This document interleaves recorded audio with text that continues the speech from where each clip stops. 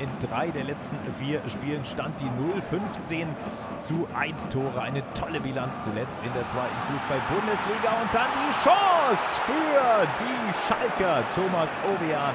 Ganz klasse die Parade von Patrick Drewitz. Der KSC ja die zweitbeste Rückrundenmannschaft hinter dem FC St. Pauli